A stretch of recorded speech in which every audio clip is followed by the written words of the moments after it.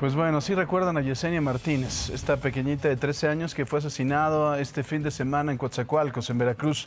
Ayer fue velada en su casa, mientras que en la secundaria número 5, en donde estudiaba el primer grado, compañeros y profesores le dieron el último pase de lista. Quería ser enfermera.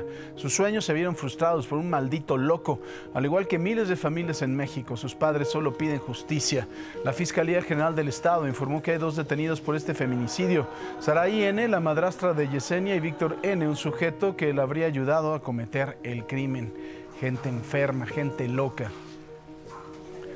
También en Veracruz, ayer familiares y amigos le dieron el último adiós a Rosa Isela, la joven de 20 años que fue asesinada, asesinada para extraerle al bebé que estaba a días de nacer. Fue velada en su casa, en casa de su hermana y sepultada más tarde en el Panteón Plan de Manantial en el municipio de Paso de Ovejas.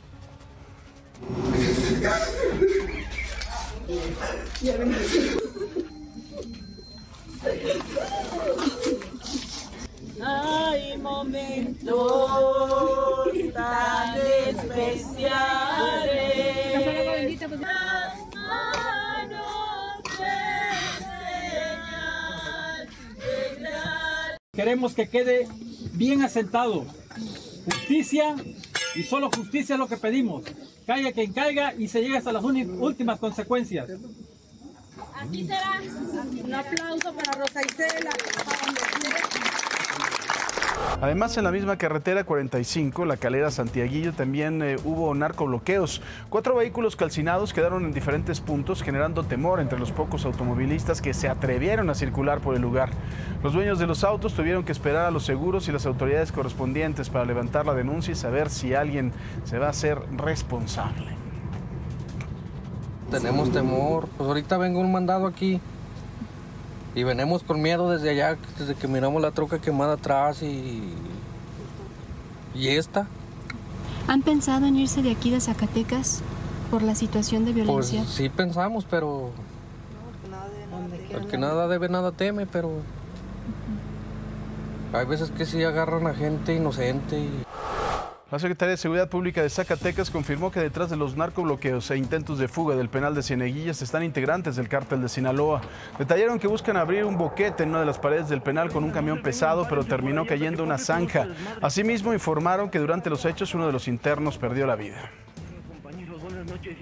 En los últimos días hemos tenido algunas reacciones derivado del buen resultado y del quehacer en la estrategia de construcción de paz. ¿A quién querían rescatar? ¿Quién lo organizó? Eh, es un grupo del- del- de Sinaloa que trataban de alguna manera eh, evadir, evadirse, fugarse, pero afortunadamente logramos la detención, logramos el control y todo está hasta el momento controlado.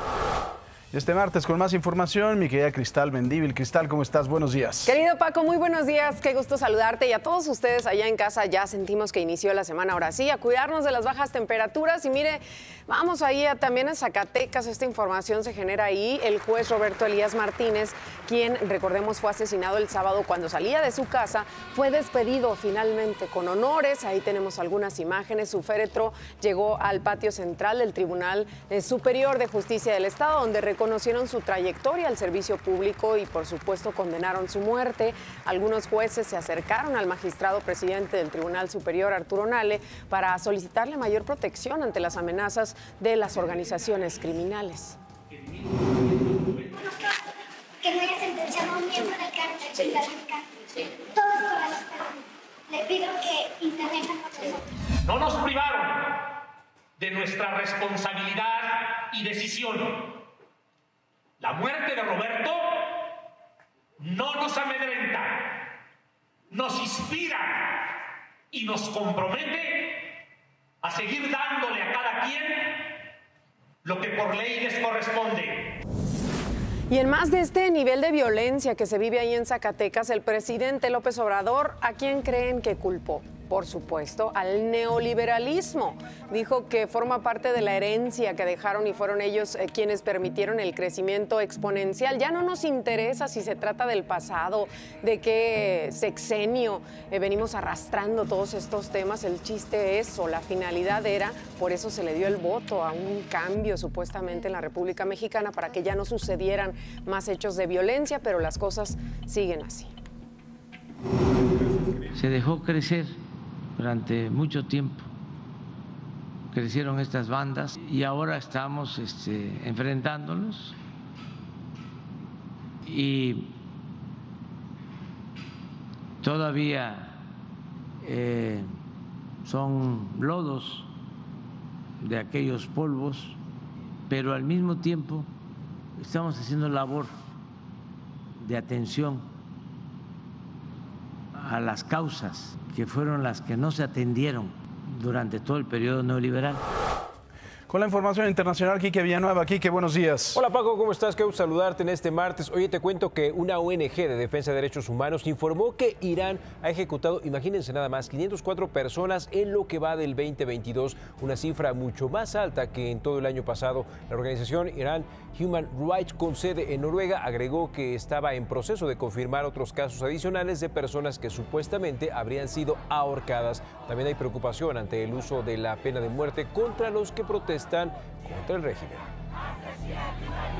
Y miren, otra información le cuento, más de 30 personas perdieron la vida, entre ellas 8 menores, por una luz de tierra que cayó sobre un autobús y otros vehículos que transitaban por una carretera al noreste de Colombia. De acuerdo con autoridades, este es el balance oficial más reciente. Unos 80 socorristas ya participan en las operaciones de rescate, mientras que familiares de las víctimas llegaron al lugar para asegurarse que eh, han recibido la información correcta sobre sus familiares. Con toda la información de las redes sociales y la pregunta del día, Marlene Stahl, que viene muy... De rumbera. Eso. Soy una rumbera. Viene de bolillas. Rumbera. Bueno, buenos días, 5 de la mañana con 53 minutos. Sí, es la, es la mm, blusa de las mil bolas.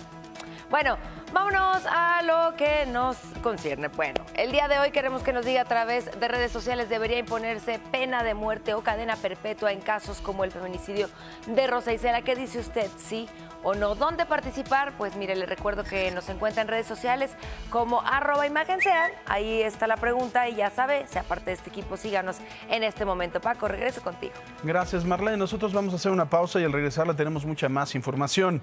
La Fiscalía de Durango obtuvo siete órdenes de aprehensión en contra de administradores y dueños de los cuatro hospitales privados involucrados en los casos de meningitis. Al regresar de la pausa le tenemos la información completa de este caso.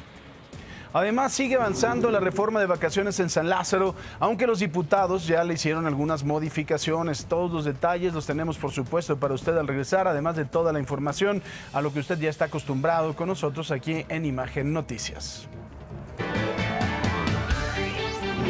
Para no variar, el presidente López Obrador se va en contra del INE nuevamente, ahora por frenar la campaña de la pinta de bardas y publicidad en redes que promueve Claudia Sheinbaum rumbo a las elecciones del 2024. Calificó de antidemocráticos a los consejeros por violar los artículos 6 y 7 de la Constitución que protegen la libertad de expresión de todos los mexicanos. Hay que luchar por eso. Y claro que sí se toca y se debe de tocar. Y también que se sepa que la mayoría de la gente en México, la mayoría, quiere la reforma al INE. Yo llegué a la presidencia no por el INE, llegué a la presidencia por el pueblo. Fui candidato, nunca me reuní con los del INE, ni siempre procuré mantener distancia con ellos y no creerles porque sabía yo que eran árbitros vendidos, hasta en los debates armaban todo para ver si me entrampaban.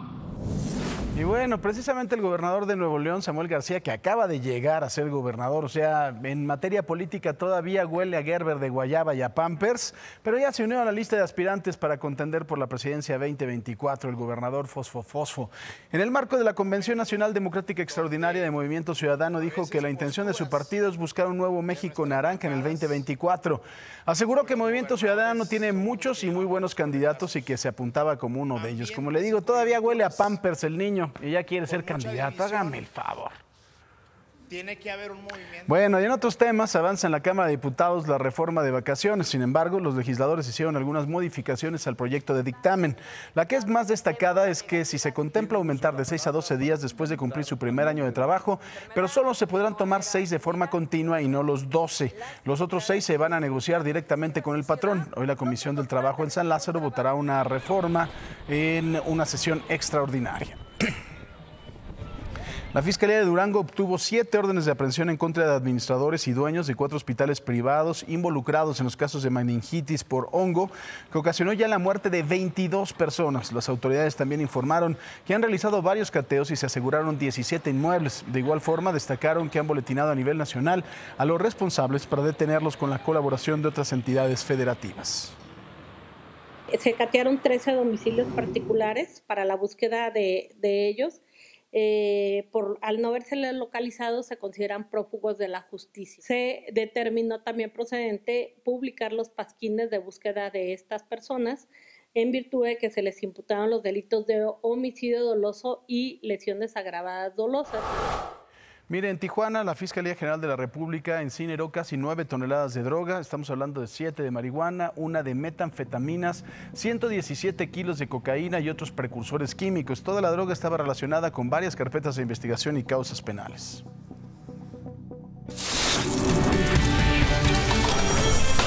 Ariadna Montiel, secretaria del Bienestar, continuó con la entrega de nuevas tarjetas del Banco de Bienestar de la Ciudad de México, en donde se prevé alcanzar 852 mil beneficiarios. Acudió un módulo de la alcaldía Miguel Hidalgo, en donde fueron entregadas 500 tarjetas. Ariadna Montiel subrayó que la nueva tarjeta no cobra comisiones en ninguno de sus movimientos. Quienes ya la tengan no deberán de renovarla. También Ariadna Montiel recordó que inició la incorporación de nuevos registros para recibir la pensión del bienestar para adultos mayores para quienes cumplan 65 años entre noviembre y diciembre. El trámite estará vigente hasta el 17 de diciembre. La atención en los módulos será en orden alfabético, de acuerdo a la letra inicial de su primer apellido, de 10 de la mañana a 4 de la tarde. ¿Qué le parece si vamos a los dineros? El dólar 19 pesos con 14 centavos a la compra y 20 pesos con 21 centavos a la venta. El euro 19 pesos a la compra y 21 pesos con 30 centavos a la venta. Acompáñame, vamos a darle una vuelta al mundo. Empezamos en Estados Unidos porque la Corte Suprema de este país comenzó un, un, debate sobre la negativa de una diseñadora cristiana a crear una página web de bodas para parejas del mismo sexo. El proceso es similar al de un repostero que también rechazó preparar un pastel de boda para una pareja gay. Imagínense nada más, en el estado de Colorado una ley prohíbe la discriminación por orientación sexual desde el 2008 y puede imponer sanciones de hasta 500 dólares. La diseñadora perdió dos veces y apeló ante la Suprema Corte. ¿Cómo ve? Nos preocupa mucho que si perdemos este caso, la Corte abriría una exención que haría posible para todo tipo de profesionistas, fotógrafos, pasteleros, escritores, decir, no le voy a vender a alguien basado en quiénes son. La Corte nunca ha reconocido esa exención y hacerlo amenazaría las leyes de libertades civiles. Oiga, ¿usted para qué se mete a Twitter? ¿Para tirar odio o para el debate? Porque desde que Elon Musk completó la compra de Twitter a finales de octubre, el discurso de odio ha aumentado de manera significativa en esta red social. Así lo mostró un análisis de grupos que estudian la plataforma en línea. Antes de que el multimillonario comprara Twitter, los insultos contra los afroestadounidenses aparecían en un promedio de 1.282 veces al día. Después de que el también CEO de Tesla se convirtió en propietario de la plataforma, saltó a 3.876. De igual forma, las publicaciones antisemitas y en los insultos por orientación sexual aumentaron y pues hay tranquilizarnos, de verdad, esta red social se supone que es para el debate y no para el insulto.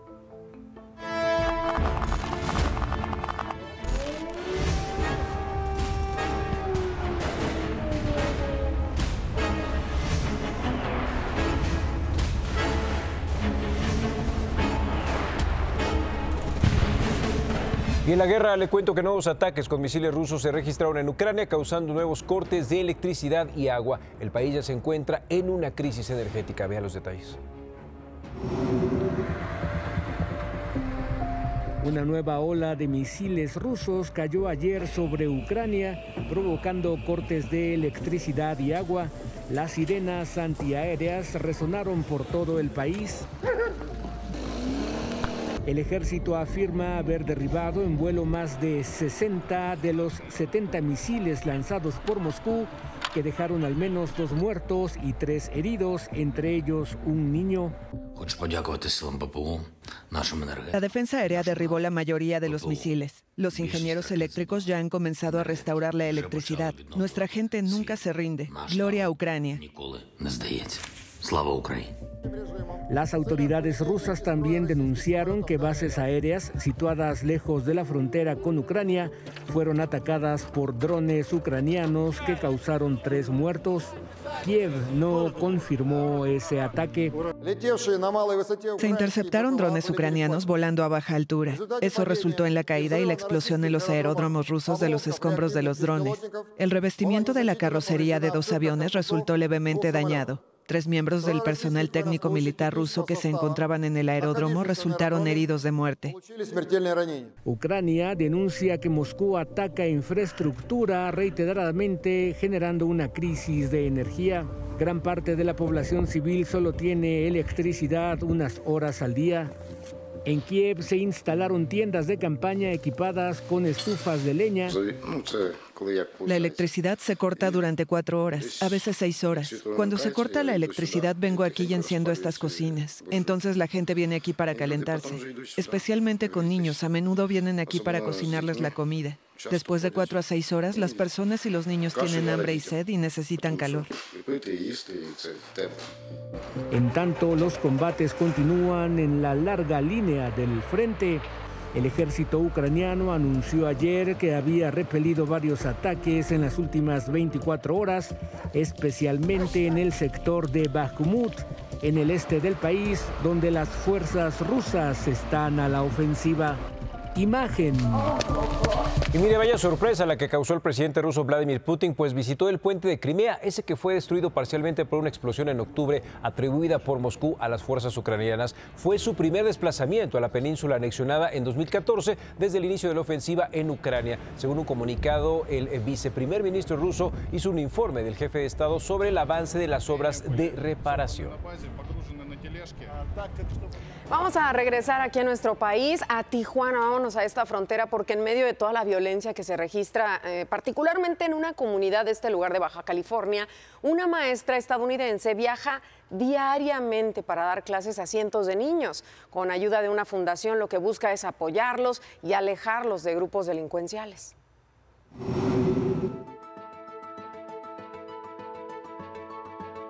Una mujer estadounidense cruza a diario la frontera, Christine Brady. Su historia es particular, una maestra que apuesta por el arte en la instrucción académica en la delegación con mayor incidencia delictiva en Tijuana. Christine, la directora del Colegio La Esperanza en la delegación Sánchez Tabuada. Hace 34 años, yo y mis amigas fundaron la The Americas Foundation, que está dedicado a comunidad desarrollo comunitario y dar ayuda a niños desavantajados. Y quisimos hacer una clínica, pero la gente dijeron que no hay escuelas aquí y lo que nos urge y nos más interesa es un jardín de niños. El Colegio La Esperanza ofrece kinder, primaria y secundaria bajo costo para los vecinos de la colonia que lleva el mismo nombre. Se calcula que viven más de 400 mil personas en esta zona y que muchos niños, niñas y adolescentes son beneficiados por esta escuela. Sin embargo, Christine no olvida la violencia. Bueno, ya con el proyecto y trabajando juntos, introduciendo el elemento de arte, resolvemos mucho de este tipo de problema. También enfrentamos robos y vandalismo. Ahora los, los vecinos están orgullosos de la escuela y lo protegen más y no tenemos tanto problema de vandalismo. Lo que nos preocupa son los niños afuera que no han ido a nuestra escuela y han llegado a destinos muy trágicos. Una escuela que se ha construido con donaciones provenientes en su mayoría de Estados Unidos y hechas por artistas. Una escuela que le apuesta al arte para disminuir la violencia. Significativo más que nada eh, que otras personas vean que pues la ciudad, la comunidad necesita de ciertas atenciones que no se alcanzan a cubrir con pues ciertos programas que da el gobierno con las escuelas públicas. Eh, me parece que la visión que tiene la directora es muy interesante, no solamente por lo que está haciendo ahorita, sino todos los 30 años que tiene aquí en Tijuana y sobre todo centrar la educación en el arte. Autoridades han calificado esta zona como el epicentro de la violencia. Esta escuela trae esperanza a la comunidad y a los más de 300 niños, niñas y adolescentes que a diario acuden a recibir instrucción académica. Lo que me da muchísimo tristeza es ver niños chulos, inteligentes, crecer sin apoyo y llegar a estar asesinados casi una vez por día. Logro de saber de una persona que conocemos por lejos que fue asesinado víctima de, de narcoguerra o tomando una noche y pleitos armados, eso sí, sí nos hace mucho, nos da mucha tristeza. La esperanza de una estadounidense en medio de la violencia. Informó en Tijuana para Imagen Yolanda Morales.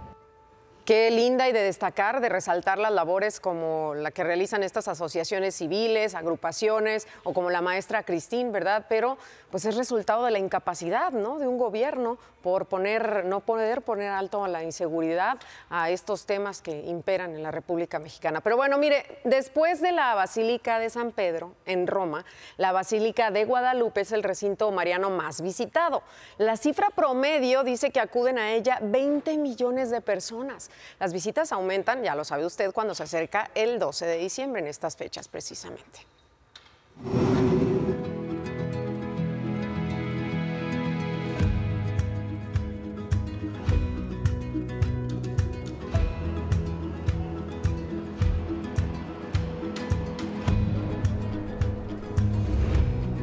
La Basílica de Guadalupe, el recinto católico más visitado de América Latina. Son más de 20 millones de fieles los que visitan el atrio guadalupano durante todo el año. Guadalupanos locales, nacionales e internacionales visitan a la Virgen del Tepeyac. Desde Quito, Ecuador, luego de varios días de viaje, llegó Nancy Díaz. Para mí la Virgen es mi madre y representa a ella una mujer de fe, la intercesora, la mediadora, la madre de Jesús. El templo mariano, concebido por el arquitecto Pedro Ramírez Vázquez, es el punto de encuentro para la devoción, pero detrás de este templo se encuentra la historia de otras edificaciones que han albergado la fe de los guadalupanos. La historia relata que meses después de las apariciones de la Virgen a Juan Diego en el Cerro del Tepeyac, en diciembre de 1531, fue levantada en ese lugar una ermita por orden del obispo Fray Juan de Zumárraga. Los relatos señalan que entre 1695 y 1709 se realiza una nueva edificación con mayor fortaleza y espacio para recibir a los fieles.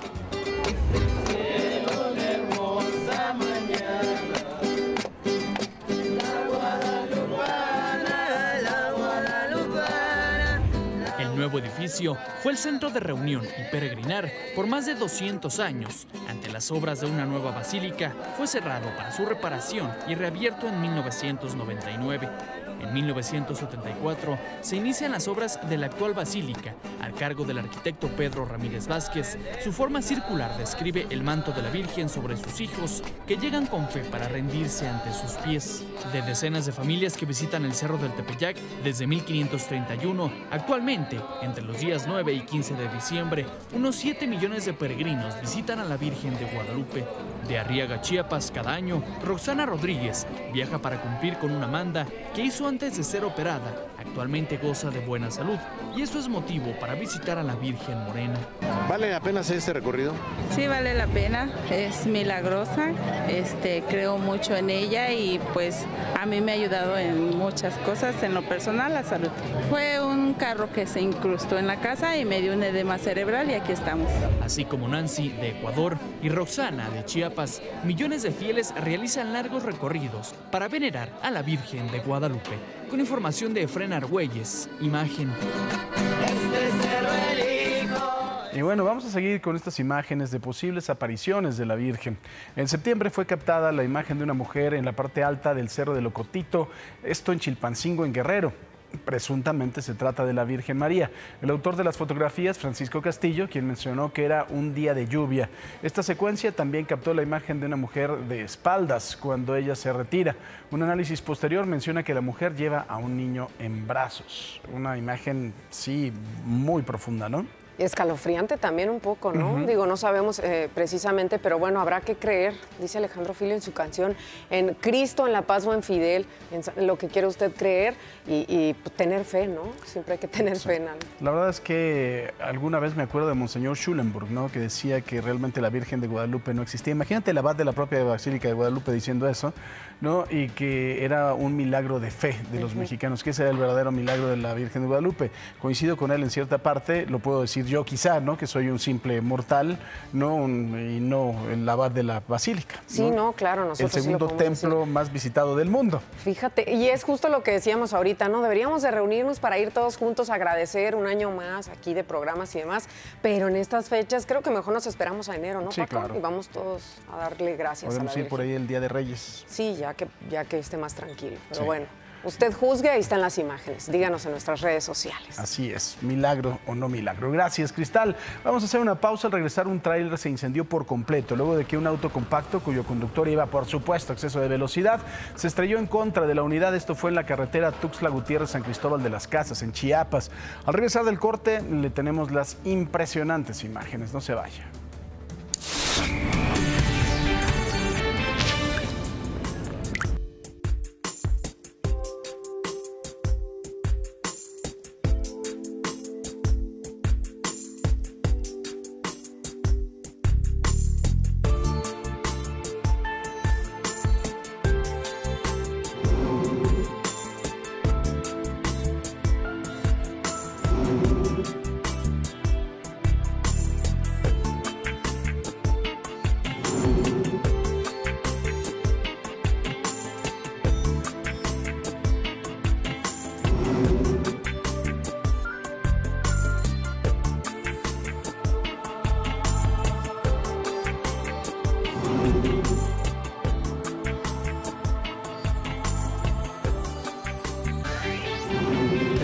López Obrador reiteró que será la ciudadanía quien va a elegir al aspirante de la presidencia de Morena para el 2024.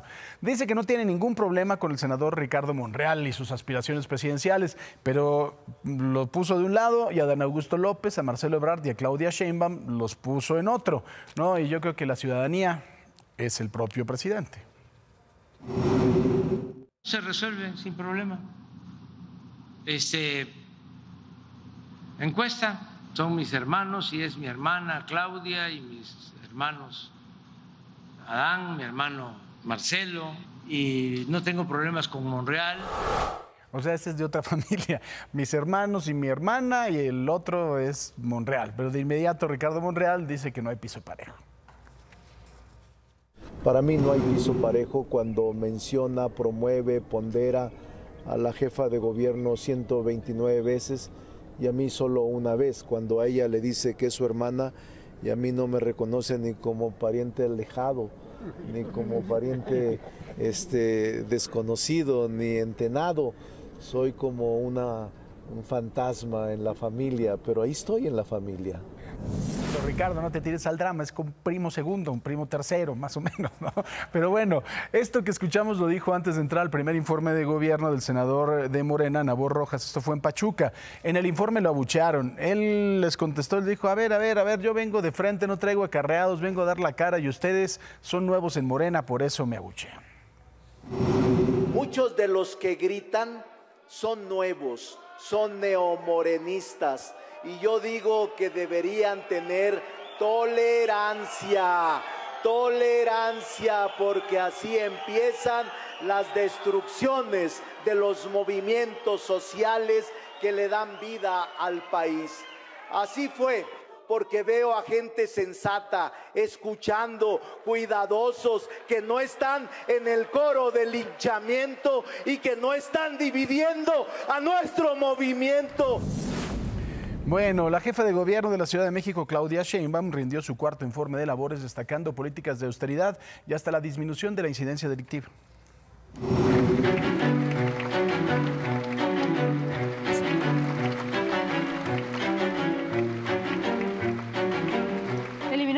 Y los privilegios ha permitido que el gobierno de la Ciudad de México haya ahorrado 80 mil millones de pesos en sus primeros cuatro años. Así lo dio a conocer la jefa de gobierno Claudia Sheinbaum en el evento de rendición de cuentas celebrado en el Teatro de la Ciudad de México Esperanza Iris.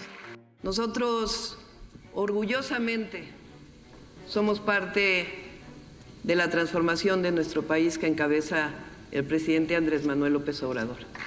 Llegamos hace cuatro años al gobierno de la ciudad y puedo decir que en estos cuatro años pasamos de la corrupción, de el uso de los recursos públicos para beneficios privados a un gobierno honesto que nunca jamás traicionará a su pueblo somos parte de la transformación de la vida pública. Al evento acudieron Raquel Buenrostro, secretaria de Economía, Alejandro Armenta, presidente del Senado de la República, Rafael Guerra, presidente del Tribunal Superior de Justicia de la Ciudad de México, Ernestina Godoy, fiscal general de Justicia de la ciudad, y Mario Delgado, líder nacional de Morena, entre otros funcionarios. Y con todos los programas del gobierno de la ciudad, principalmente con el apoyo a los niños y niñas con la beca del bienestar educativo, estamos teniendo una inversión de 34 mil millones de pesos del gobierno de México y 15 mil millones de pesos. Es decir, cada año el gobierno, o más bien los habitantes de la ciudad, reciben por parte del gobierno de México una inversión directa, de apoyo directo a sus habitantes, de cerca de 35 mil millones de pesos. Nunca antes visto en la historia de la ciudad. Sheinbaum destacó que además del impulso a la movilidad en la ciudad, como la construcción de la línea 1 y 2 de cablebús, ha sido fundamental el impulso a la educación.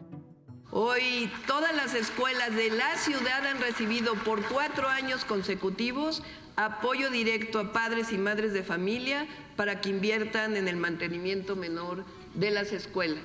Y quiero agradecer aquí a los diputados y diputadas del Congreso, de Morena, de Mujeres por la Democracia, del PRI, eh, porque gracias a ellos esto está en la Constitución de la Ciudad de México.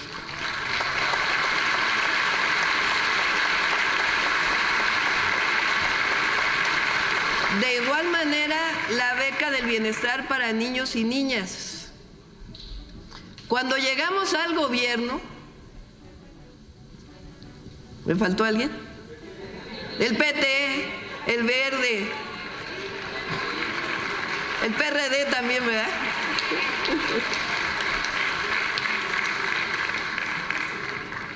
Disculpen ustedes y recordó que hace cuatro años desapareció el cuerpo de granaderos y cualquier abuso policial será sancionado. Destacó que gracias al trabajo de la Secretaría de Seguridad Ciudadana y la Fiscalía General de Justicia de la Ciudad de México, en estos cuatro años hubo una reducción del 59.4% de los delitos de alto impacto.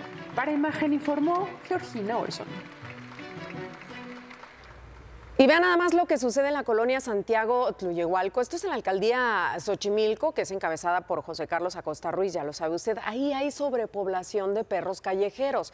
Es tan fuerte este problema que enfrentan que incluso algunas personas denuncian que han encontrado perros envenenados en la calle para evitar su reproducción. Hacen esto. De igual forma, los vecinos han pedido jornadas de esterilización para evitar la reproducción de los canes en esta zona. Sin embargo, la administración de este alcalde, José Carlos Acosta Ruiz, solamente tiene jornadas para 10 perros que sean esterilizados. Esto pues resulta lógicamente insuficiente. Vean nada más, pobres animales.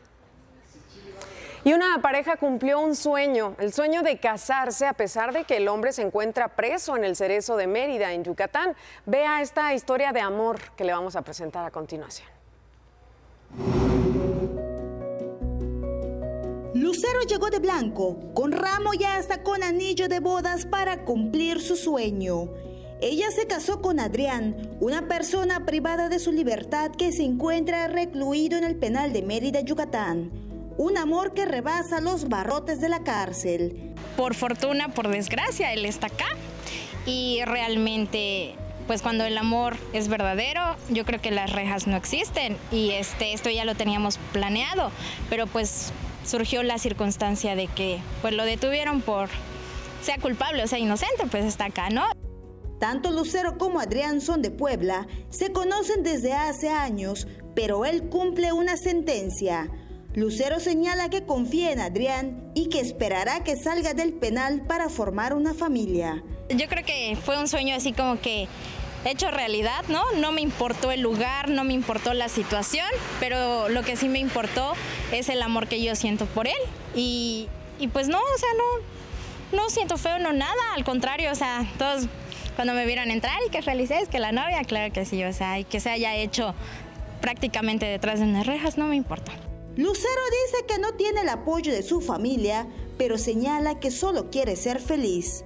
Sí, fui muy criticada y así, pero realmente no me importa, porque yo sé que lo amo, yo sé que lo quiero, creo en él y como se lo he repetido una y otra vez, yo te voy a esperar y el día que abran ese portón, yo voy a estar afuera. Lucero espera pronto que Adrián cumpla su sentencia, mientras lo visitará y apoyará.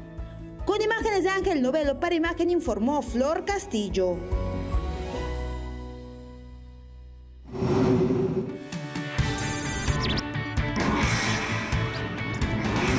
En Veracruz, familiares y amigos le dieron el último adiós a Rosa Isela, la joven de 20 años que estaba embarazada y que fue asesinada para extraerle a su bebé.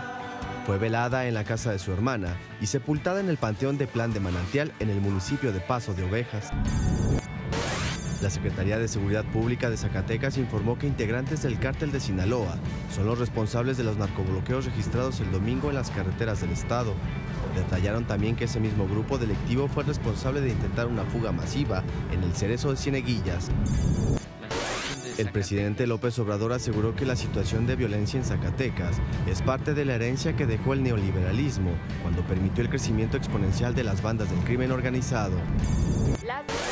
La Cámara de Diputados prevé modificar la reforma promovida como vacaciones dignas, con la que se modifica la Ley Federal del Trabajo para aumentar de 6 a 12 los días de descanso que los trabajadores podrán tener después de su primer año de labores. Propondrán que la mitad de esos días se pacten directamente con el patrón. Chiapas, vean nada más estas imágenes. El conductor de un tráiler grabó el momento en el que un auto que viajaba a exceso de velocidad perdió el control y chocó contra su unidad. Ahí está el momento. El fuerte impacto provocó que el tráiler se incendiara. Según las autoridades, no se reportaron víctimas eh, mortales. El trailero logró salir de la unidad como un milagro, ¿no? Porque vean nada más la imagen, qué fuerte. El vehículo compacto con el conductor a bordo rebotó contra la barra de contención del carril contrario.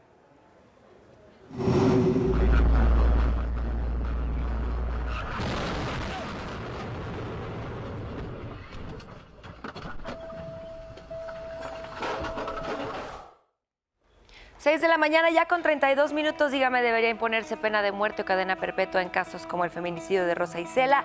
Es nuestra pregunta del día, lo invitamos a participar a través de arroba.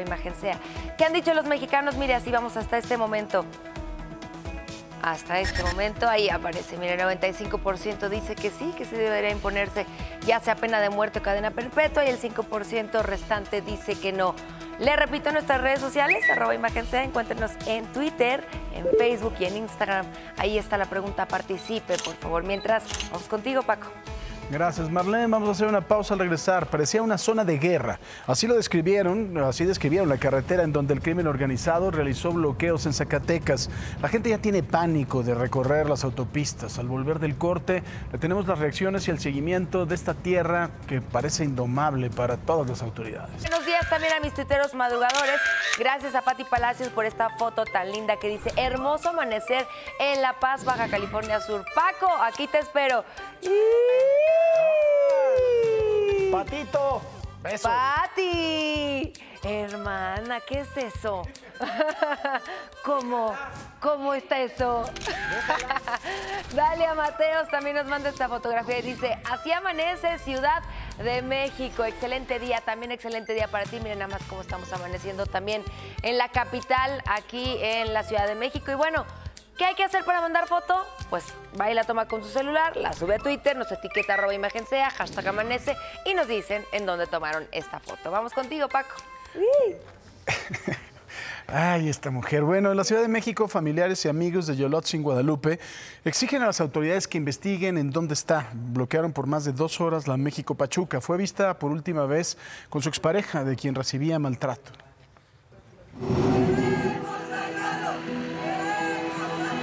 No nos hicieron caso en las delegaciones, bueno, en los municipios, no nos hicieron caso y no sabemos nada de ella, ya van cinco días, ya va demasiado tiempo, ya realmente no sabemos nada de ella. Desde hace cinco días, la familia López Ayala espera que aparezca Yolotzin Guadalupe, quien saliera de su casa en la colonia Juan González Romero, en la delegación Gustavo Amadero, en los límites con el Estado de México. Y al no saber nada de ella, decidieron bloquear la autopista México-Pachuca. La última vez que la vimos fue en la, Juan González Romero, el día miércoles, entre 8 y 9 de la noche, y de ahí no sabemos hacia dónde tomó, si hacia el estado o hacia el distrito, y desde ese entonces no sabemos nada de ella. Su familia tiene miedo por la joven de 29 años de edad, quien es madre de un menor de 7 años, pues aseguran que su expareja, quien la maltrataba, nuevamente empezó a buscarla. el chico tiene antecedentes, él tiene intento de homicidio y homicidio y ella le apuntó con un arma, le soltó el balazo pero no le dio. Mi prima alcanzó a desviarle la pistola para, para que no le diera el disparo. Ya después de ahí lo dejó porque ya, ya le pegaba y todo eso. Lo dejó y después ya él, él empezó a buscar. Mi prima no quiso meter nada legal porque dijo realmente no le estoy haciendo caso. Y ahorita él es nuestro primer sospechoso aseguran que han pedido el apoyo de ambas fiscalías, tanto de la capitalina como la del Estado de México, para localizar a Jesús N., expareja de Yolotzin, quien es doctora y ha apoyado a muchas personas. Su celular todavía les da señal para rastrearla hasta en Ecatepec, donde la vieron, que es la dirección de su antigua pareja, un tipo que ha sido denunciado por múltiples delitos de violación hacia los derechos de la mujer. La ha golpeado, la maltrató. Para imagen, María de los Ángeles Velasco. Mire, vamos a Veracruz. Ahorita mostraba a Marlene algunos aspectos lindos de ahí, pero hay otras historias que de verdad, ¿qué está pasando? La descomposición social que estamos viviendo en México. El caso de Rosa Isela Castro, ¿la recuerda usted? Ella fue sepultada finalmente. Familiares y amigos están exigiendo justicia porque esta joven de 20 años fue asesinada para extraerle a su bebé. Estaba unos días de nacer y según la narrativa que hemos escuchado de algunos reporteros de la localidad, le extrajen, le extraen al bebé y ella muere desangrada. Es decir, primero, lógicamente, ellos se roban al bebé y la dejan morir así. Yeah.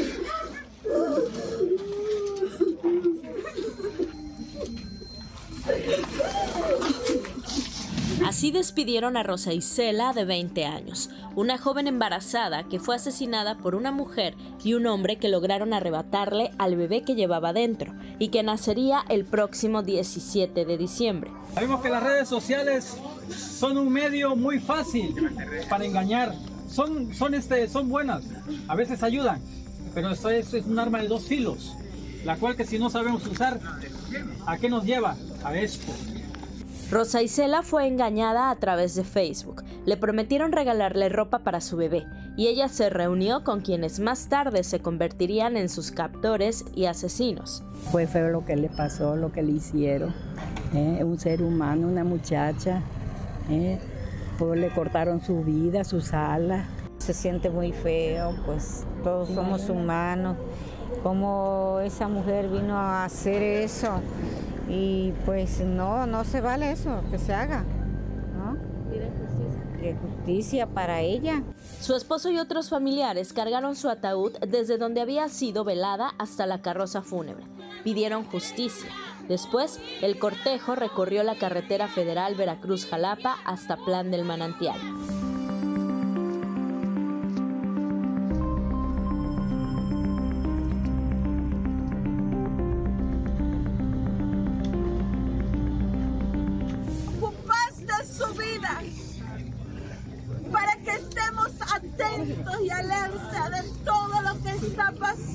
En este mundo, de la maldad que se está multiplicando.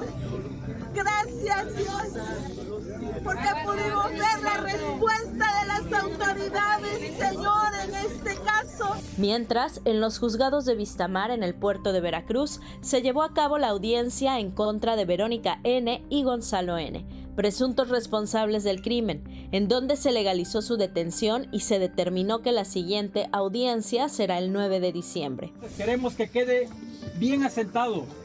Justicia y solo justicia es lo que pedimos. Caiga quien caiga y se llegue hasta las últimas consecuencias.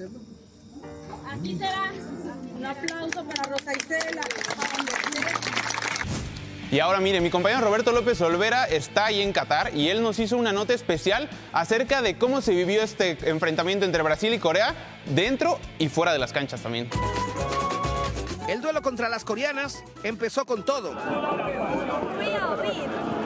Las brazucas desfilaban, mandaban vecinos y gambetaban las miradas.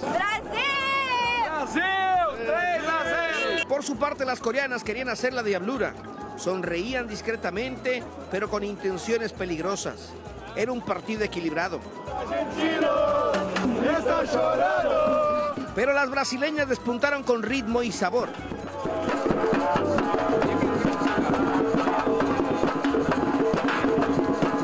Los mexicanos animamos el encuentro muy a nuestra forma.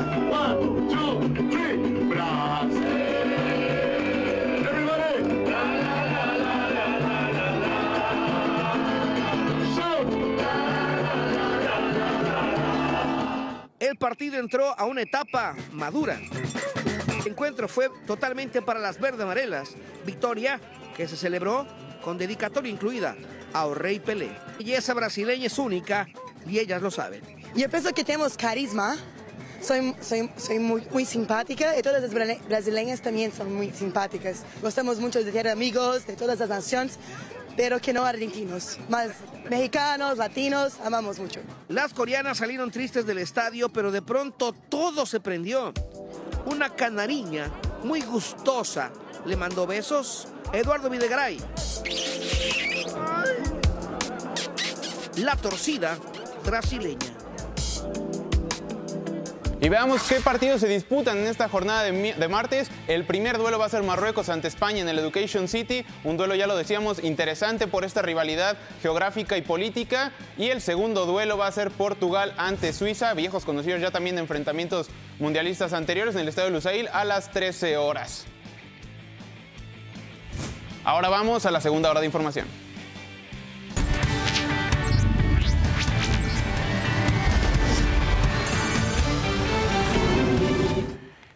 Y miren, luego del intento de fuga precisamente del penal de Cieneguillas el pasado fin de semana en Zacatecas y de que civiles armados llevaron a cabo bloqueos y quema de autos, los habitantes de la zona salen por supuesto con temor, con pánico a la calle. Es lo que ha sucedido cuando pues el gobierno, los tres niveles, no han podido con la violencia en la zona. La carretera Calera Santiaguillo en Zacatecas quedó como zona de guerra tras los narcobloqueos que se registraron el día de ayer en un intento de fuga masiva del penal de Cineguillas en Zacatecas. Tenemos temor, pues ahorita vengo un mandado aquí y venimos con miedo desde allá, desde que miramos la troca quemada atrás y, y esta. ¿Han pensado en irse de aquí de Zacatecas por la situación de violencia? Pues sí pensamos, pero... El que nada debe, nada teme, pero... Hay veces que sí agarran a gente inocente y... Vehículos calcinados serán parte del panorama de quienes con temor esta mañana pasaban por la zona para dirigirse a sus actividades. De los cuatro vehículos que quedaron en diferentes puntos, solo uno fue retirado por autoridades. Una camioneta blanca quedó sobre la carretera en la que aparentemente circulaban integrantes de la delincuencia organizada, ya que en el interior quedaron envases con un líquido flamable. Debajo de la camioneta quedó ropa táctica. Las llantas de la camioneta quedaron afectadas por ponchallantas y a unos pasos quedó otro vehículo totalmente calcinado y en la zona varios casquillos percutidos. Como se puede observar, no hay custodia policial. Esta mañana pocos se atrevían a circular por las carreteras de Zacatecas. No salí anoche por lo mismo, hasta hoy en la mañana. Pero sí está mal, o sea, por parte de esa gente, pues también tiene que ser consciente, todos, todos somos trabajadores. Y sí, este, lo que decimos muchos compañeros, hay mucha inseguridad en, en el país. De hecho, es una de las razones y uno de los motivos que muchos compañeros están emigrando al trabajo americano. Yo digo que sí está, está algo mal, ¿no? Por la inseguridad que hay en las carreteras. Las autoridades aún no tienen el número de vehículos que fueron despojados a sus dueños para incendiarlos y bloquear las vías. Para imagen, Carla Méndez. Mire, por su parte, la Secretaría de Seguridad Pública de Zacatecas confirmó que detrás de los narcobloqueos y del intento de fuga del penal de Cieneguillas están integrantes del cártel de Sinaloa. Detallaron que buscaban abrir un boquete en una de las paredes del penal con un camión pesado. Este se les cayó una zanja, por eso no lo pudieron hacer. Asimismo, informaron que durante los hechos murió uno de los internos. En los últimos días hemos tenido algunas reacciones derivado del buen resultado y del quehacer en la estrategia de construcción de paz. ¿A quién querían rescatar? ¿Quién lo organizó? Eh, es un grupo del, del, de Sinaloa que trataban de alguna manera eh, evadir, evadirse, fugarse, pero afortunadamente logramos la detención, logramos el control y todo está hasta el momento controlado. También en Zacatecas, el juez Roberto Elías Martínez, quien fue asesinado el sábado cuando salía de su casa, fue despedido con honores. Su féretro llegó al patio central del Tribunal Superior de Justicia del Estado. Ahí reconocieron su trayectoria al servicio público y, por supuesto, condenaron su muerte. Algunos jueces se acercaron al magistrado presidente del Tribunal eh, Superior, Arturo Nale, para pedirle que haya mayor protección ante estas amenazas, pues, que viven, que sufren por parte de las organizaciones eh, criminales. que no haya sentenciado a un miembro del cártel sí. sí. Todos correctos. Le pido que intervengan con nosotros. No nos privaron de nuestra responsabilidad y decisión. La muerte de Roberto no nos amedrenta, nos inspira y nos compromete a seguir dándole a cada quien lo que por ley les corresponde. Y precisamente sobre este nivel de violencia que impera ahí en Zacatecas, el presidente López Obrador habló al respecto y qué fue lo que dijo que es culpa del neoliberalismo. Aseguró que forma parte de la herencia, que es la herencia que le dejaron y que fueron ellos quienes permitieron el crecimiento exponencial. Se dejó crecer durante mucho tiempo. Crecieron estas bandas y ahora estamos este, enfrentándolos. Y todavía eh, son lodos de aquellos polvos, pero al mismo tiempo estamos haciendo labor de atención a las causas que fueron las que no se atendieron durante todo el periodo neoliberal. Bueno, Zacatecas se volvió tendencia, de hecho ya lleva varios días en tendencia, pero ayer retomó con gran fuerza debido a estas declaraciones que hizo el presidente durante esta conferencia en la mañana. Como ves, Paco, lo que está sucediendo en el país, lamentable. Terrible y, y triste. estas imágenes. Y lo que está sucediendo en Zacatecas es peor. Yo escuchaba las palabras del gobernador Monreal. Oiga, ¿de verdad? O sea, hubo algunas acciones resultado del buen eh, resultado, o sea, estas se tomaron algunas acciones delictivas resultó con los resultados del buen trabajo que estamos haciendo en materia de seguridad. ¿Está usted loco o qué? Digo, de verdad. Está bien que, que hay que mantener la cordura y tal, pero decir de los buenos resultados, más bien hay que decir, nos vamos a poner a trabajar fuerte, vamos a tratar de prevenir, vamos a coordinar con la federación para que no pasen este tipo de cosas, pero decir que los ladrones actuaron por los buenos resultados que estamos dando, por piedad, Sí. piense las cosas antes de decirlas, oiga. Sí, la verdad es que sí, y es lamentable las muchas declaraciones que hace la clase Y mira que es de los país. gobernadores que me caen bien, pero de- por, por No, pero sí hay que tener, digo, podemos entender a lo mejor la, la Lógica, Chihuahua. pero no, no podría hacer estas declaraciones después de lo que estamos Sí. viendo. Derivado de los buenos resultados en materia de seguridad, nos incendiaron el Estado, ¿no?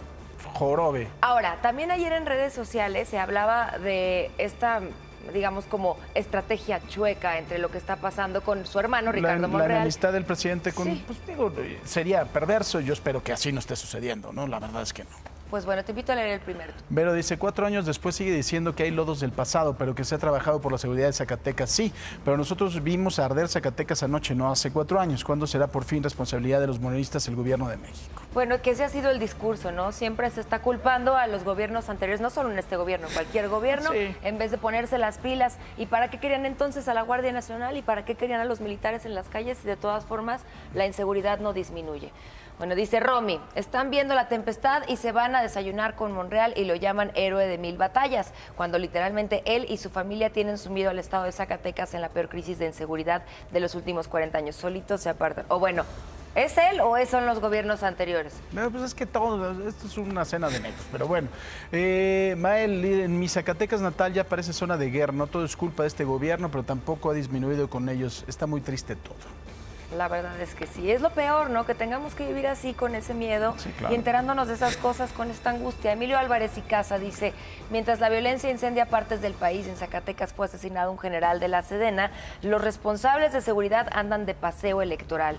El gobierno se ha convertido en cómplice de la violencia e inseguridad por acción u omisión, actitud criminal. Hay que recordar que Emilio Álvarez y Casa es un senador que ya se, se hizo de este grupo independiente, por supuesto opositor al gobierno, ¿no? Para que Pero tiene haya... un punto, la verdad es que sí tiene un punto. Sí, Están claro. más preocupados por estar hablando de las próximas elecciones, de lo que está pasando en el tema de las corcholatas, que de ponerse a trabajar y nada más se levantan a hacer sus juntas de seguridad y no hay resultados.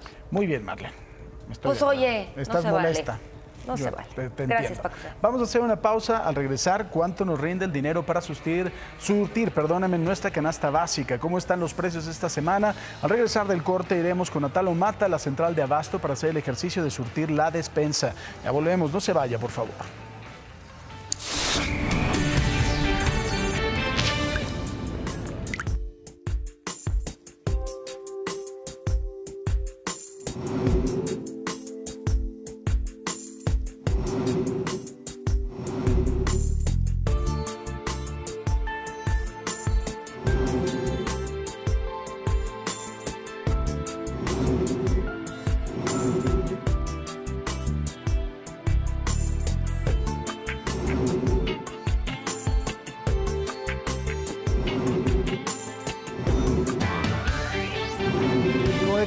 Presidente López Obrador se fue en contra del INE, ahora porque frenó la campaña de pinta de bardas y publicidad en redes que promueve a Claudia Sheinbaum rumbo a las elecciones del 2024. Lo calificó como antidemocrático a los consejeros que violan los artículos 6 y 7 de la Constitución que protegen la libertad de expresión. Hay que luchar por eso. Y claro que sí se toca y se debe de tocar. Y también que se sepa que la mayoría de la gente en México, la mayoría, quiere la reforma al INE. Yo llegué a la presidencia no por el INE, llegué a la presidencia por el pueblo. Fui candidato, nunca me reuní con los del INE, ni siempre procuré mantener distancia con ellos y no creerles porque sabía yo que eran árbitros vendidos, hasta en los debates armaban todo para ver si me entrampaban. Y bueno, mire, el gobernador Fosfo Fosfo de Nuevo León, el joven, el jovencillo Samuel García, que todavía no ha dejado el Gerber de Guayaba ni el pañal Pampers, pero ya está en la lista de aspirantes a la presidencia. O sea, no lleva ni dos años en el gobierno de Nuevo León y ya quiere otra cosa. En el marco de la Convención Nacional Democrática Extraordinaria de Movimiento Ciudadano, dijo que la intención de su partido es buscar un nuevo México naranja en el 2024. Dice que Movimiento Ciudadano tiene muchos y muy buenos candidatos y que se apuntaba como uno de ellos. Se debe de apuntar su mujer que es la que tiene el arrastre, porque él todavía sigue siendo un bebecillo de brazos. Y mire, en otros temas avanza en la Cámara de Diputados la reforma de vacaciones. Sin embargo, los legisladores hicieron algunas modificaciones al proyecto de dictamen. La que más destaca es que si se contempla aumentar de 6 a 12 días después de cumplir su primer año de trabajo, se podrán tomar solo 6 de forma continua y no los 12. Los otros 6 días se tienen que negociar con el patrón. Hoy la Comisión del Trabajo en San Lázaro votará la reforma en una sesión extraordinaria. La Fiscalía de Durango también obtuvo siete órdenes de aprehensión en contra de administradores y dueños de cuatro hospitales privados involucrados en los casos de meningitis por hongo, que ocasionó la muerte de ya 22 personas. Las autoridades también informaron que han realizado varios cateos, se aseguraron 17 inmuebles y de igual forma destacaron que han boletinado a nivel nacional a los responsables para detenerlos con la colaboración de otras entidades federativas. Se catearon 13 domicilios particulares para la búsqueda de, de ellos eh, por, al no verse localizados, se consideran prófugos de la justicia. Se determinó también procedente publicar los pasquines de búsqueda de estas personas en virtud de que se les imputaron los delitos de homicidio doloso y lesiones agravadas dolosas. Y mire, precisamente es martes de canasta y nos vamos con mi compañero, mi querido compañero Talo Mata, ahí en la central de Abasto. Mi querido Talo, ¿cómo estás? Buenos días.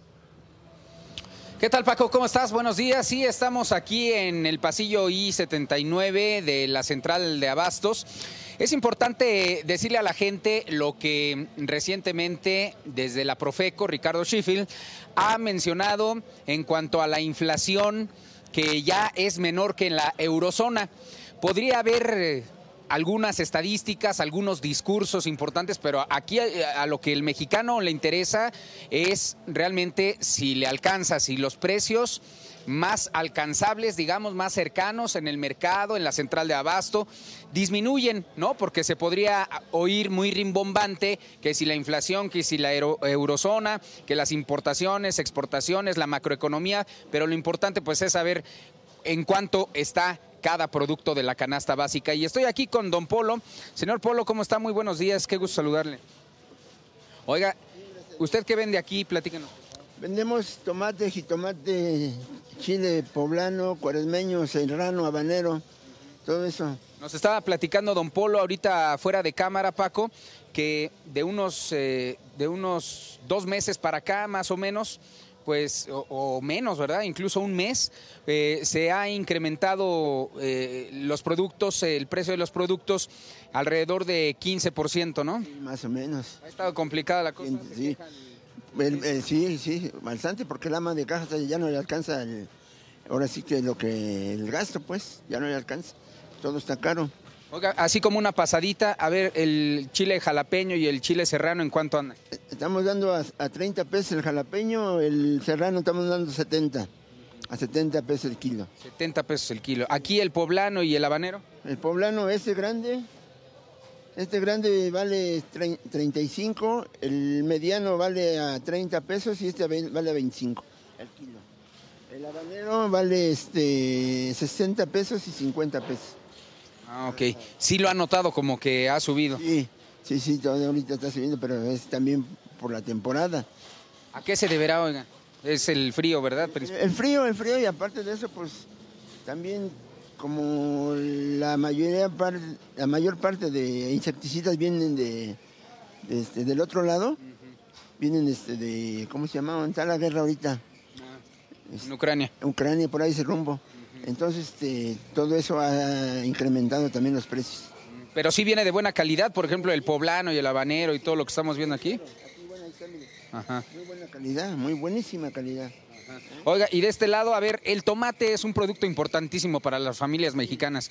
Este, eh, ¿cómo, ¿cómo ha fluctuado su precio? ¿Cómo lo ha visto? No, el tomate está un poco es accesible. El tomate estamos dando a 8 pesos, 8 pesos el kilo. Ese está un poco sensible. Lo que sí está caro es el jitomate. Este jitomate, este jitomate de cuál es, cómo, cómo se llama? ¿Es el bola o qué? No. Ah, no, el bola es más grande. Saladez. En Saladez, ahorita la caja vale este 270 pesos. Y este chico, que es la misma nomás porque está pequeño, estamos dando 240 la caja. La caja y el kilo. El kilo ese le sale como a 15 pesos. Esa. Este le sale como a 20 pesos, más o menos. El jitomate entonces también por su parte ha sufrido ese. El incremento, sí. Don Polo, muchas gracias. Muy, muy buenos días. Buenos días, señor. ¿A cómo está la zanahoria? A 200 ¿200 pesos? la caja. La No, bueno, el bulto. Oiga, ¿y el kilo en cuánto más o menos? Yo, yo lo doy caro, yo lo doy a 20 varos. Sí. Eh, ¿Cree que es caro? Pues sí, ¿Por qué ha subido? porque no se vende mucho. Sí. Y en la- es la temporada también. Bueno, no, bueno, sí la temporada, pero está, o sea, no hay ventas. Entonces lo que haces tú es eh, subirle más a la merca para que salga, si no, no sale. Muchas gracias. Buenos días. Bueno, pues ahí está la opinión de los comerciantes, ¿no? Que han visto cómo se ha venido incrementando el precio de los productos, la canasta básica. Aquí vemos la papa, por ejemplo, 26 pesos el kilo. Y algunos clientes, pues también dicen que últimamente, mientras más se acerca el fin de año, más encarecen los productos. Entonces, pues vamos a esperar también a ver si en algún momento esta inflación de la que habla el gobierno, que ya está mejor, eh, que, que está más por debajo de la, eh, de la que hay en la eurozona, pues llega a impactar directamente al bolsillo de las familias, pero de manera favorable, Paco. Así es, porque creo que, la gente sí ha resentido, por supuesto, esta alza de precios que tú lo estás, pues bueno, se los estamos demostrando, ¿no? En este momento. Sí, y la idea es esa, justamente mostrarle a las personas eh, cómo va cada semana. Ya lo habíamos dejado de hacer un poquito por el tema del Mundial, pero es importante no soltar, obviamente, este tema que es tan importante para la gente que ya nos lo había pedido en redes sociales. Oye, ya eh, es necesario volver a regresar a, dar estos eh, precios, ofrecerlos y darnos una idea de cómo está en la central de abasto el producto de la canasta básica, porque pues la gente no deja de comprar, sea la temporada que sea del año. Así es. Gracias, querido Taro. Te mando un fuerte abrazo. Igualmente, hasta luego, Paco. Buen día. Gracias. Quique Villanueva, el opinador.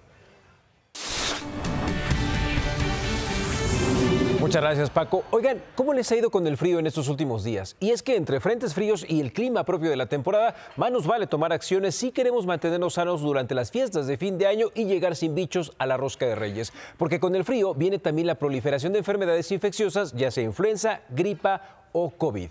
Pero, ¿por qué pasa esto? Empecemos por los espacios. Cuando hace frío, las habitaciones permanecen cerradas y el aire fresco no circula en un ambiente ideal que eh, aprovechan los virus para mantenerse por más tiempo en el lugar. Y es que los virus fuera del cuerpo viven más en un ambiente frío o en sitios con menos humedad que los atrape. El inmunólogo de la Universidad de Yale, Akiko Iwasaki, señala además que en aire seco se permite que los virus viajen distancias más largas y que respirar aire frío hace que tu respuesta inmunológica se vuelva más lenta, lo que permite que los virus puedan crecer o viajar mejor al interior de tu nariz. Pero, ¿qué tanto daño le puede hacer el frío a nuestro cuerpo? James Gallagher, corresponsal de salud y ciencia de la BBC, se sometió a una prueba al respecto en la Universidad de Gales del Sur, en donde dentro de una habitación midieron con varios sensores el impacto que tendría su cuerpo al bajarlo de 21 a 10 grados centígrados. ¿Por qué 10 grados? Porque es el promedio de temperatura a la que viven las personas que no pueden darse el lujo de tener calefacción o un calentador dentro de su casa en época de frío. Pero bueno, volviendo al experimento, conforme bajó la temperatura, Gallagher pasó de tener erizados los vellos de los brazos que buscaban aislar su cuerpo a tener los dedos de los pies y de las manos fríos cuando los vasos sanguíneos se empezaron a cerrar. Luego vinieron los escalofríos y los temblores en los músculos que buscaban generar calor. Cambió el flujo de la sangre al cerebro haciéndose esta más espesa y llegó menos oxígeno y glucosa. El corazón latió más fuerte y aumentó la presión arterial, algo que en una persona sana puede no traer tantos problemas. Sin embargo, en personas de la tercera edad o con problemas del corazón puede provocar ataques cardíacos o incluso accidentes cerebrovasculares, razón por la cual, según los expertos, hay más fallecimientos en época de frío que de calor. De ahí la importancia de consultar al médico para saber nuestro estado de salud. Y mientras eso pasa, vistan prendas que los aíslen bien del frío como la lana, use guantes y calcetines, pregunte a su doctor si puede cambiar su dieta a una alta en carbohidratos en lo que duran las bajas temperaturas y trate de estar en movimiento y no sentado o acostado todo el día, pues esto le ayudará a combatir el frío. Ya del regreso del COVID y de las medidas que debemos empezar a tomar, mejor hablamos luego. Y es que Paco, el frío nos va a pegar fuerte este año. Hijo, somos muy chillones. Pero también Vengo de un lugar en donde se hace frío de a de veras. ¿Cuánto estaba Y de aquí- menos que? No, están a 6 grados, pero en estos lugares, como viene el aire del Mar del Norte, el aire es un aire helado, o sea, la temperatura no está tan baja. Que de hecho lo que pega es el aire, no la temperatura. Puedes estar a menos 30 sin aire y estás medianamente bien. Exactamente, el aire es lo que te, lo que te empieza a pegar, pero finalmente en un par de, de- de semanas ya estarán en menos 5, menos 6 con este mismo aire y entonces ahí hace frío. Aquí ya estamos en 10 grados, ya estamos enchamarrados y guantes y no podemos, pero sí hay que cuidarse. Es que el Hay problema es que tenemos una muy mala salud. Entonces, si a eso le pones el factor frío, pues empezamos a resfriarnos, el corazón nos falla, se nos sube la presión y ahí de la diabetes y todo esto que traemos se cobra factura, ¿no? Somos chillones, somos chillones. Pero además estamos también, ¿sabes qué? Es que allá tienen muy buenos vinos también para pasar. No, pues como no, una de las cosas, por ejemplo, que ves que se ponen estas ferias tradicionales en la Gran Plaza de Bélgica, de Bruselas, una de las cosas que más venden es el vino tinto caliente. Hijo de Dios. La tomas- cerveza y también los embutidos, ¿no? Sí, sí, pero el vino tinto caliente, ese sí, para el frío, sí. Pues hay que exportar. Ese amarra. Una pausa y al regresar eh, nos ponemos en modo mundialista, seguimos con el mejor análisis y el entretenimiento. Somos el oasis del mundial, volvemos con los de casa, está con nosotros Ani Barrios, Víctor Manuel también, el salsero que usted ya verá nominado a un Grammy y pues bueno, con muchas cosas más. La Sonora Santareda también para que usted baile, por supuesto. Y ya volvemos. Bueno, ya estamos aquí con mi querida Ani Barrios, a quien saludamos con mucho gusto. ¿Cómo estás, Ani? Muy feliz de Gracias. Gracias por visitarnos, por madrugar. Yo feliz, feliz. Gracias. Te vamos aquí a, vamos a cambiarte por Marlene. Ah. No, no es cierto. y está con nosotros Víctor Manuel, por supuesto, un salsero, pero de oro. ¿Cómo estás, mi querido Víctor Manuel? Eh, contentísimo de estar compartiendo con ustedes. ¿Seguro? Porque es muy de madrugando, no acostumbro. A esta hora se supone que yo me estoy acostando. Sí, sí. Pero estamos aquí y lo estamos disfrutando mucho. Gracias Oye, por el esfuerzo. ¿no? Sí, claro. Bienvenido. Cuéntanos qué se siente que te nominen a un Grammy. Mira, es, es, bueno, ahora estamos casi celebrando 30 años de carrera, es mucho más importante para mí porque me da como la vigencia saber que después de tanto tiempo todavía siguen considerando mi música. El disco estuvo no- nominado al Grammy eh, Latino y ahora está nominado al Grammy Americano. Y de verdad que es un, bien lindo porque siempre uno no trabaja en busca de eso, pero ser reconocido y que la industria te, te, te reconozca de verdad que es lindo, es lindo, es el sacrificio que uno hace durante todos estos años. ¿Y cómo te llegó esa noticia? ¿O qué sentiste cuando te enteraste? Ajá, Platícanos el ¿qué estabas haciendo? Sí, estaba en mi casa, eh, eso casi siempre lo hacen en la mañana, ya eso como a las 9, 10 de la mañana llegan esas noticias y recibí la llamada del equipo de trabajo y que estamos nominados al, al Grammy Latino y obviamente celebré un, un montón, pero estando en los Grammys Latinos, hacen la nominación a los Grammys Americanos y comienzan a felicitarme, pero yo creo que todavía me están felicitando por los Grammys Latinos. Y decía, pero ¿por qué tanto entusiasmo? Se llevamos como tres días y todo el mundo, felicidades otra vez, y yo estaba allí. Y dicen, no, estamos nominados a los Grammys Americanos, así que ha sido una noticia tras noticia y de verdad celebrándolo y disfrutándomelo mucho. Oye, 30 años de carrera, vas a tener un concierto aquí en la Arena Ciudad de México, 22 mil personas, el primer salsero que se presenta, no es un asunto menor. Mira, es una gran responsabilidad. Me toca la encomienda de ser el primer salsero que se presenta en la arena y traigo un, espectáculo exclusivamente para México. Estamos eh, abriendo el show de lo que es la gira de la celebración de los 30 años de carrera y el primer país va a ser México. Los que me han visto aquí no es el mismo show que han visto. ¿Sabes? Es un show diseñado para celebrar los 30 años, diseñado para México. Eh, les rendimos un homenaje también a, a- a su cultura. Gracias. Y, y de verdad que, que agradecido porque yo comencé viniendo aquí en, en sitios pequeñitos hace algunos veintipico de años, en ¿Cuál discotecas. fue el primer lugar que te presentaste? Eh, ¿te la? Maraca.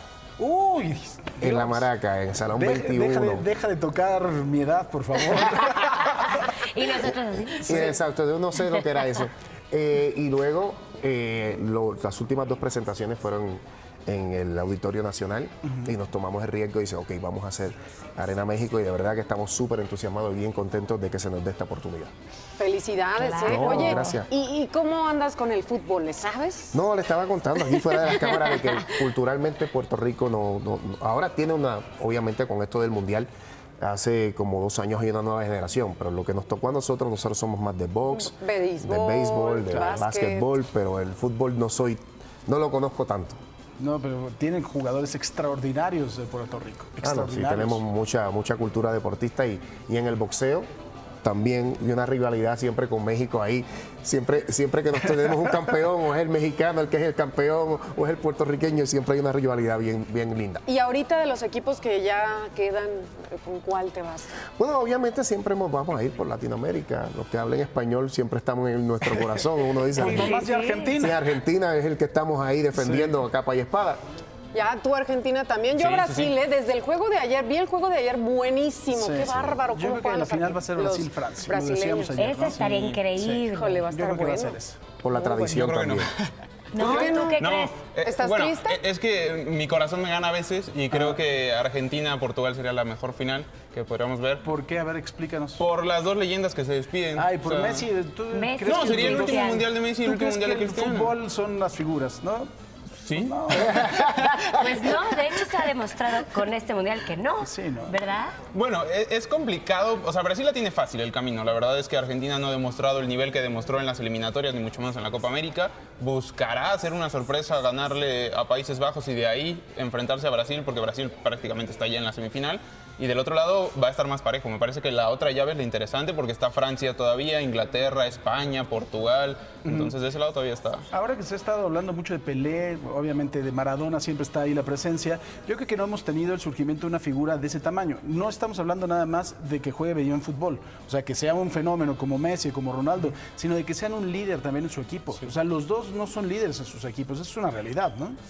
Sí, cre- creo que la, la importancia que tiene Messi dentro de la selección es espectacular. O sea, los mismos jugadores juegan para Messi. Yo también por siento que. Cristiano es así. Cristiano también, sí, Cristiano también ha tenido ciertos conflictos internos por lo mismo de su carácter, que a veces es. Es que es muy perfeccionista, es Sí, perfeccionista el hombre. Pero no, pero Lionel Messi juegan para él. O sea, la selección, cuando acabó la Copa América, era el título de Lionel Messi, no era la Copa América, era el título que ganó Lionel Messi. Pues es el, el- el primero que se le ha dado finalmente, Sí, ¿no? sí, sí. Después de veintitantos años sin ser campeón de Argentina, Sí. logró un título y lo hizo con Lionel Messi. Ahora, pero no, no ves, por ejemplo, yo me acuerdo mucho de los partidos de Maradona en México 86, que Maradona es el que paraba al equipo.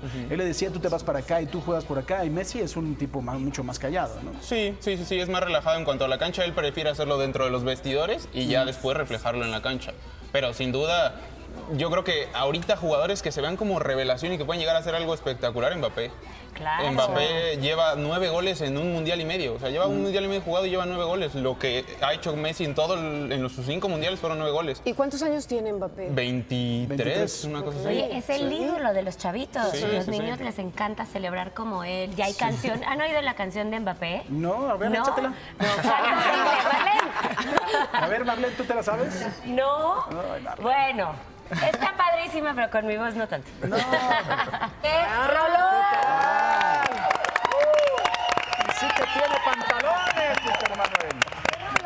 Oye, muy buena. Es una composición de Romeo Santos y de verdad tengo el privilegio de interpretarla y le ha gustado mucho a la gente, un poco controversial el tema, un poco fuerte, pero a la gente le gusta esa, esa pasión y ese drama. ¿Qué va a ser fuerte ahorita con lo que Bueno, escuchamos? bueno, Ay, que es bueno. increíble, super tía. Tía. No, está padrísima, felicidades. Muchas gracias. Eh, Se han integrado con nosotros Antonio Méndez y Arturo Ortiz de, Servidor. de la eh, Internacional Sonora, la única e internacional Sonora Santanera.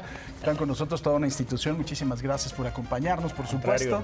Y nos estaban, te estaban diciendo dónde van a tener giras, ¿no? ¿Dónde van a andar? Sí, mira, bendito sea Dios, este, este diciembre pues ya lo tenemos todo lleno. Vamos a estar en Colima, vamos a estar en Jalapa, vamos a estar en Puebla, vamos a estar en Mérida y cerraremos en, en Monterrey. El 31 de diciembre y ya el año entrante vamos a estar en La Maraca, que aprovechamos este momento También, para ¿verdad? visitar a todos nuestros amigos. Él va a estar también en la maraca en también vas a diciembre. en La Maraca. sí. ¿Van a estar juntos? No, Ay, estaría nosotros buenísimo. hasta enero. Nosotros Víctor en Manuel va a estar el 8 de Eh, diciembre, ¿no? Sí, pasado mañana voy a estar en Arena. En la Arena Ciudad en de la Arena México. Ciudad de México, esa sería la primera vez que me presento ahí. Estuvo en- Y luego, estuvo en- pues, pero si no voy con, este, Sí, con, estuvo, con esta sí. invitación, voy para el Maraca con ellos. ¿no? ¿Qué Claro, tal? claro. Estaría bueno, estaría bueno. Va a ser 27 y 28 de enero 27 y 28 de enero en. La Maraca, sí. Muy bien. y ahí Con invitados también. ¿Qué? Muy bien, muy bien. Con Que además- sería un gran lujo, ¿no? Tener el honor de estar aquí con este señorón. No, el lujo sería para mí. No, No, no, un no. privilegio increíble, los, los admiro se muchísimo. juntan talentos de este tamaño, ¿no? No, y aparte una música que nos encanta a todos. ¿Quién no se pone a bailar salsita sonora en cualquier evento? Ponen y ya saben que empezó la fiesta, la buena fiesta. ¿Vieron el, eh, han visto los partidos del Mundial o andan muy llenos de chamba? Hemos andado. Hemos andado viajando constantemente. Las distancias son lo que nos, nos absorben, ¿no? No tanto el momento de llegar a, to- a tocar, porque son el turno muy así. Pero son las distancias los que nos llevan horas y horas, estar en los aeropuertos y llegar. eh, O sea, no tenemos tiempo para Pues ver. México ya no está, pero ¿por No. qué país se irían ustedes? Pues eh, Brasil, tal vez. no Brasil, sé. Brasil, ah, yo también. Sí, Yo sí. creo. Es uno de Eh, los favoritos. los gallos, como decimos. ¿no? Sí. ¿Y Marlene, vas a bailar? No, yo fíjate que ando lastimada de la rodilla. Ahora resulta. Ah, en este momento nos vamos a enlazar con mi querido Roberto López Olver hasta Qatar. Ahí es la tarde. Mi querido Robert, ¿cómo estás? ¿Qué tal, mi querido Paco, amigos de Imagen? Sea qué gusto saludarles desde pues eh, el malecón de Lusail. Con el placer de saludarlos desde acá, a mis espaldas, West Bay, una ciudad financiera donde están los grandes rascacielos de esta ciudad de Doha y con un atardecer mágico. Los atardeceres aquí en Qatar son simplemente como si fueran pinturas al óleo, mi querido Paco, en un clima fresco, no hay tanto calor y obviamente también esperando lo que serán los partidos del día de hoy de octavos de final, el Portugal enfrentando a Suiza y obviamente en primer plano el Marruecos en contra de España, doble cartelera el día de hoy, los últimos duelos de octavos de final de esta justa mundialista, mi querido Paco. Oye, mi querido Roberto, qué edificio tan impresionante el que está atrás de ti. Es de que parece media luna. Está impactante. Sí, son dos hoteles. Una de las, pues de los brazos es un- el hotel Fairmont y el otro eh, es, eh, pues también de la misma cadena. El Raffle se llama. Me está diciendo por acá mi querido Félix Valdés. Hola, hola. Y este, y sí, sí, la verdad es que son ¿A quién saludas? mi querido Paco. Aprovechamos. Aprovechamos para saludar a las amigas que están por acá. Hola, hola también caballeros que van llegando. Es que se están, están, este, están, este, nos están saludando, mucha gente aquí empieza a juntarse, eh, pues se sacan un poco de onda de que estemos pues aquí casi casi de malecón y que estemos enseñando un poco también de lo que es su tierra. Espectacular, ¿eh? Pero más o menos una noche te sale como en 39 mil, 45 mil pesos. ¡Ah! Mira qué me aparte barato. dos, que me aparte dos de una vez. Bueno, pues mi querido Antonio Sí. Arturo, ustedes tienen me número musical. días ahí. Antes de seguir con. Espérame un segundo, mi Robert, que Antonio Arturo se tienen que ir al número musical, por eso los estamos despidiendo de la única internacional Sonora Santanera. Muchísimas gracias. Gracias. Y ahorita los Gracias. escuchamos al final. A ti, a tu auditorio. Muchísimas gracias. Ahora sí, mi Robert, seguimos por supuesto contigo. Te decía Paco que aprovechaba este tiro, esta imagen, porque nos quedamos dos días ahí y desde esos dos días, pues la vida no ha sido la misma. Nos hemos tenido que mover ahora a los clústeres, hemos estado pues tra- tratando de sacar dinero también. No, no es cierto, Paco, la verdad es que es muy caro Doha. Es muy caro, o sea, sí, el Medio Oriente, lo que es Dubái, Emiratos Árabes Unidos, las tierras catarís, los grandes hoteles son bastante caros, incluso hay una isla que se llama la Isla Banana, que está aquí, es un complejo turístico, y están la noche en 50 mil pesos, estaba en una de sus suites eh, en eh, época pre justa mundialista, y ahora está en 400 mil pesos, una villa, una noche nada más, mi querido Paco. Pero ¿por qué vi una foto tuya, una selfie que parecía un fondo igual al hotel? ¿Estabas ahí? Que le alcanzó para una ¿Te alcanzó? ¿Te alcanzó los viáticos? ¿Sabes qué? No me alcanzó para quedarme dos noches, nada más una noche, mi querido Andrés, y con eso tengo, ¿eh? Vivir la experiencia, ya después le paso ahí la factura a mi querido Daniel Lasquez, productor y la producción de Imagen C, así que si no hay bonos buen árbol Navidad, es culpa de un servidor. Oh, muy bien, mi Robert. La verdad es que qué buena experiencia finalmente, ¿no? Creo que ha sido una experiencia de, con- de conocer otra cultura, ¿no? Creo que ha sido, yo creo que es de lo más rescatable, conocer otra cultura y cómo se desarrolla un mundial, tú que hayas estado en muchas de estas justas deportivas. Sí, sí, completamente exótico, es una realidad. Comparado con lo que fue Sudáfrica en 2010, podemos decir que se equipara, ¿no? Por lo raro, un, un territorio que es cero futbolero, que si bien es cierto que tiene su Liga de las Estrellas catarís, pero que pues también por el tema de ser del Medio Oriente, por la cultura, por su religión, por sus costumbres, de pronto vas caminando en la calle y empieza a sonar los rezos, son cuatro o cinco rezos al día, eh, hay muchas mezquitas, hay una mezquita casi cada tres cuadras, entonces pues también es un poco ver eh, el tema cultural con el lujo excesivo, es, es demasiado lujo, hay edificios que son gigantescos y que no los ocupan ni siquiera un 20%, ¿no? Pero son ostentosos los catarís, tienen dinero, son petroleros, entonces pues eh, se dejan ver con todo. Muy bien, pues mi Robert, te mandamos un abrazo, por supuesto, hasta Doha. Muchísimas gracias. Como siempre, gusto a mí, Paco. Nos vemos mañana con mucho más información desde Tierra Mundialista. Muchísimas gracias. Diles que hago check-out a las 12, por favor. ¿Y sabes qué? Algo bien interesante de los hoteles es que en cada una de las habitaciones hay una señal en donde te indica hacia dónde está la Hacia meca, está la para que Meca. justamente te orientes y puedas hacer el Sí, rezo. para que puedas rezar. Pues bueno, mi querido Víctor Manuel, muchísimas gracias. No, gracias Que tengas toda la suerte ahí en la Arena Ciudad de México. Vamos a estar muy pendientes. Me espera todo ahí el jueves a las 8 y 30 de la noche. Será Moviendo mi- el bote. Mi, primer concierto en Arena. Y felicidades por esa exitosa trayectoria. Gracias, gracias. Muchas gracias. felicidades. Ani, ¿vas a bailar o no? Pues es que nadie se animó. Es ver, muy yo, me, triste yo me así. paro contigo a, seguir, a, a tratar de ser ridículo. Íbamos a bailar algo, ¿no? ¿Qué vamos A a, bailar? Pues ¿No a la sonora mejor. con la sonora. Mejor Ah, mejor con la la sonora, Sí. órale. Bueno, me Conste. parece bien. Muchísimas gracias, Ani, por levantarte No, con nosotros. gracias, Siempre es un me placer encanta, tenerte aquí en tu casa. Muchísimas y Víctor, gracias. mil gracias. Gracias. por estar con nosotros también, por supuesto. Y gracias, Andrés, ya es tu último día por no, por no coincidir conmigo. en